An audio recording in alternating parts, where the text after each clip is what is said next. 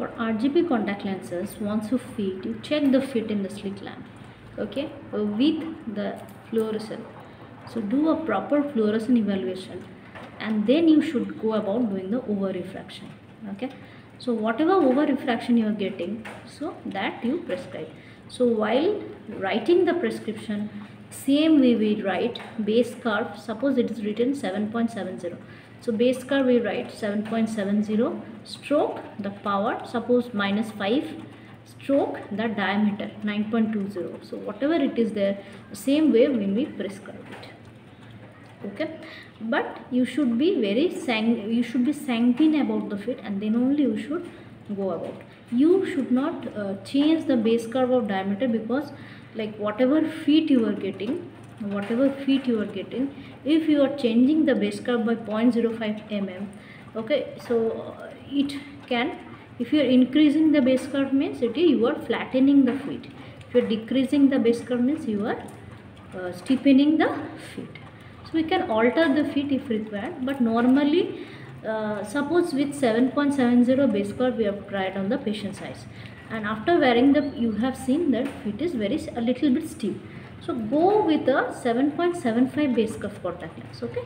So 0.05 mm we with 0.05 mm we uh, like increase and steps in the 0.05 mm steps we increase and then we see the final fit. So you fit the contact lenses give the patient time for settlement in, in the eyes and then you put a fluorescein and see the fluorescein fit characteristics this is for all for RGP fitting so you should be very careful about this. So RGP lenses have different solution you use.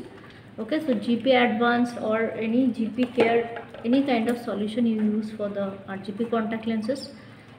And other type of solutions you use for the soft contact lenses. Okay so let me give you a practical example. Okay a patient came to me uh, he she is using 20 years RGP contact lenses okay? But what is the problem? She came that suddenly she is feeling blurred images okay?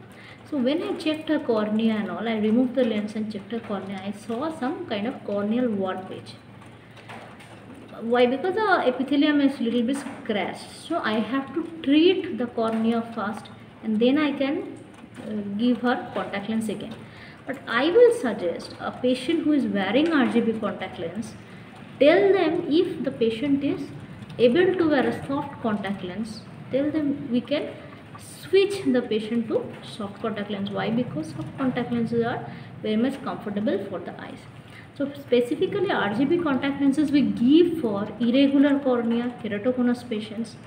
Okay. Mind it, like if you do a very good RGP fitting, yes, you can actually for keratoconus patients, you can definitely improve the vision a lot. Okay.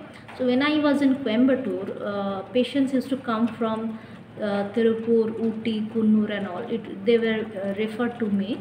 So uh, having get grade 2 or grade 3, grade 4 keratoconus also I have put an RGP lens and tried. Okay, just see if the vision improves, see whether the keratoconus cone is getting touched or not. Okay, so when you fit an uh, fit a RGP contact lens, the keratoconus cone should be spared. Fine. If you are confident in your fit, if the patient is very comfortable definitely you can go about with an RGP with the rgp contact lens. if the keratoconus is so much progressive that RGP contact lens is not fitting. That time you can go switch on to higher modes like mini scleral lens scleral lens and all. But definitely scleral lenses sits on the sclera so it does not touch the cornea. Definitely it is much beneficial. But for the cost factor we sometimes try with the RGP contact lenses.